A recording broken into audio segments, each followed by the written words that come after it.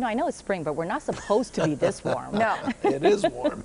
no, we're, we're sort of like sliding into summer a little bit, right? too early. A little premature. I mean, we are very much above average for this time of year, Susie. One five to 10 degrees. Yeah, to be exact, and staying that way for a little while. So, got to get used to it. As we get a look outside right now, Santa Monica, beautiful. Little bit of cloud cover starting to show up. Low cloud cover, patchy fog along the immediate coastline.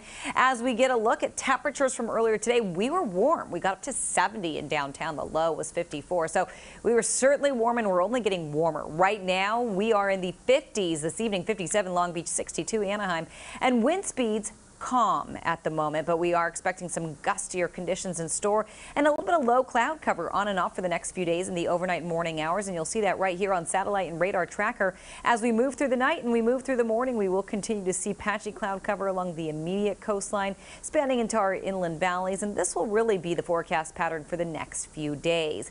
Temperatures tomorrow looking like this. 70s and 80s. 81 Van Nuys, 78 Burbank, and 74 in downtown. And high pressure continuing to build across Southern California. And as it does, temperatures will continue to warm over the next couple of days. You'll see that right here. Very warm numbers expected as we get a look at my seven day forecast for the beaches, the basin, and the valleys. 60s, 70s, and 80s, really for the next seven days to be exact. And for the IE, the high desert in the mountains, we're in the 80s. That's going to be for the IE for the next seven days. For the high desert, 80s and 70s, and the mountains in the 60s for the next seven days. And we could continue to see gusty conditions, especially for the high desert.